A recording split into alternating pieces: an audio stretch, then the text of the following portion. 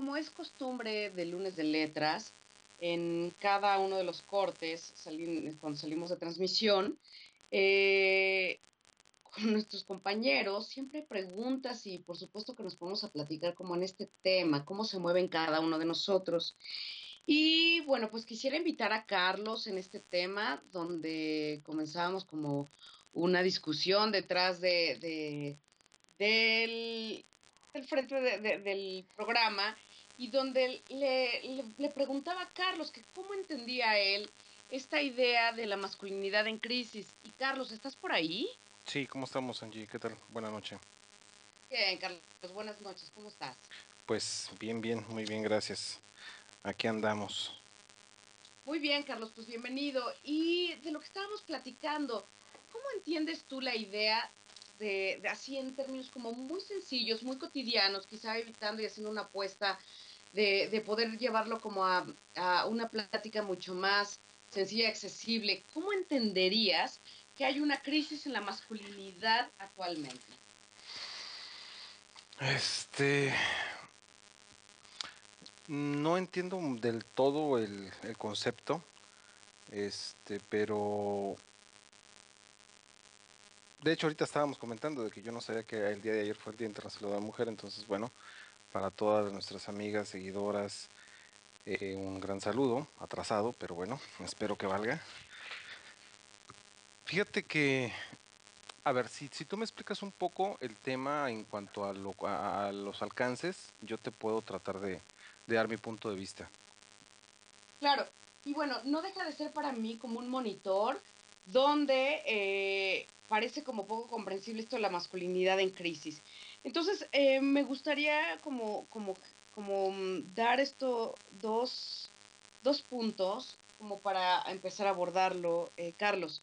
Y el primero es pensar que la masculinidad eh, se enfrenta a algo que ha perdido, en ciertos territorios, desde lo laboral, que ha perdido cierto lugar dentro del mundo social, que ha perdido cierta fuerza incluso dentro de casa o hasta en el mundo público, como en el trabajo, eh, lugares de diversión, por esta necesidad de tener que compartirlo con la mujer.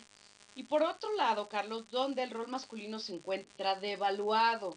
¿Por qué? Pues bueno, porque se ha tenido que enfrentar este cuestionamiento de las mujeres al, al, momento en el que la mujer llega, pues les decía yo en un principio, pone en duda y en cuestionamiento estas reglas del mundo público que por años y siglos fueron de, de, del, del, mundo de los hombres. Entonces, este es de estos dos lugares donde, donde quisiera empezar a señalar la masculinidad en crisis. Por un lado, sobre esto que ha perdido y por otro lado, como este rol masculino devaluado. Si yo te preguntara, Carlos, ¿qué crees que el hombre ha perdido actualmente?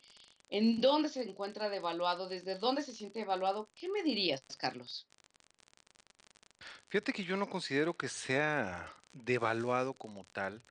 Este, de hecho, yo considero que es más fácil para un hombre tener un, un empleo. Eh, lógicamente hay empleos en los cuales la mujer tiene mucho más facilidad por su por la fineza en cuanto a sus movimientos, estoy hablando de cuestiones muy precisas, eh, la mujer es un poco tiene más facilidad para ese tipo de cosas. Entonces, pero ahorita vemos en cualquier lugar trabajo mmm, en mujeres. Yo no considero que, que el hombre haya perdido esa parte, sino simplemente se está complementando como tal. Este, no sé, ahorita en qué lugar no, no podría estar alguna, alguna mujer trabajando. No lo veo, no, no, no, no se me ocurre en este momento alguna. Mira, por un lado, me parece que, que esto apuntala lo que, lo que decía en la introducción al principio del programa, donde pues había una posición de varias mujeres el día de ayer diciendo, eh, no soy una mujer, incluso nos, nos compartía Diana un punto de vista muy personal que yo también lo llego a vivir, donde llega a ser un poco eh, entre incómodo, entre distante, el que uno eh, quiera celebrar o enfatizar el Día de la Mujer, empezando porque se asigna un solo día.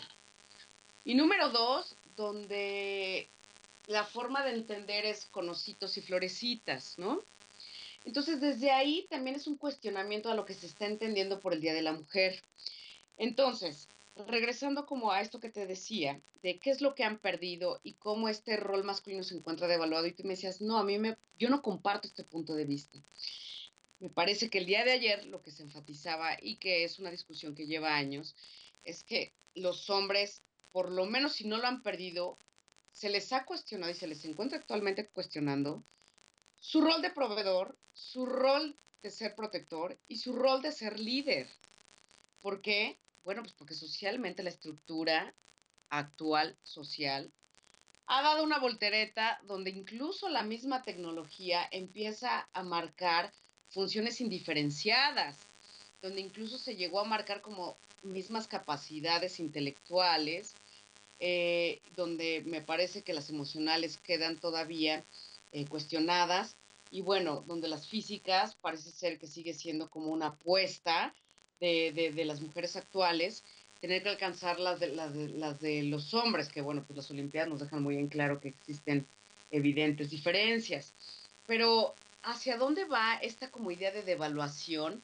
Más allá de pensar si una mujer está insertada dentro del trabajo, claro que lo está. Ya no estamos en esos inicios de los setentas, donde ese era el primer paso, sino ahora es cómo están interactuando hombre y mujer y donde incluso el hombre todavía se siente amenazado, se siente enojado o quizá ya lo tiene como mucho más integrado y empieza incluso a darle este valor que tú ya lo tienes, Carlos, como en esto de decir, pues yo me siento muy bien complementado en ciertas cosas que si bien yo no puedo, una mujer no las puede ofrecer. Y desde ahí formamos un equipo y es mucho más colaborativo. Pero me parece que sería un punto de vista un tanto muy óptimo y un tanto ideal y que no deja de ser singular en ti, pero que me parece que, insisto, la, demanda de ayer era, parece que la mujer no se siente todavía eh, entendida, escuchada, comprendida o vivida desde un lugar de equidad, desde un lugar donde los derechos también han sido construidos a favor de ella. Es decir, donde el poder ha dejado de ser el que impera y donde al mismo tiempo también lo masculino no solamente eh, se ve eclipsado o dominado por la feminidad, porque también esa es otra cara, ¿no? Donde, a ver, a ver hay mujeres eh, que están completamente eh, llenas de este falo y que incluso eh, parece como esta competitividad con la de un hombre. Desde ahí fue donde intento marcar como esta idea de lo que se ha perdido, lo que ha puesto en duda el rol de, de, del, del género masculino y de lo que se encuentra devaluado. Incluso una de las cosas que me parece que tiene que ver con una cara de, de la devaluación, pero que, que, que, no sé, la devaluación no tan directamente, pero donde el hombre actualmente se le exige demasiado. Por supuesto que también a las mujeres, me parece que creo que es algo mutuo.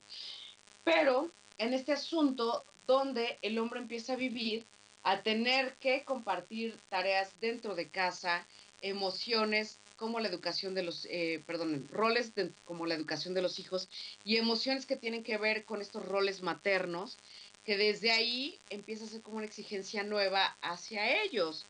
Entonces, bueno, eh, donde definitivamente también ha habido esta, este señalamiento de mujeres donde eh, pues colocan al hombre en ciertos lugares que pues no dejan de ser incómodos en esta otra cara de lo que de lo que pone en duda al rol de ser hombre y a la masculinidad de la que hoy estamos enfatizando como un, un, un, concepto, una forma de en crisis. Eh, vámonos al siguiente corte y nos vamos con esta siguiente canción que ni más ni me, menos mm, los dejo con Massive Attack y esto es Protection.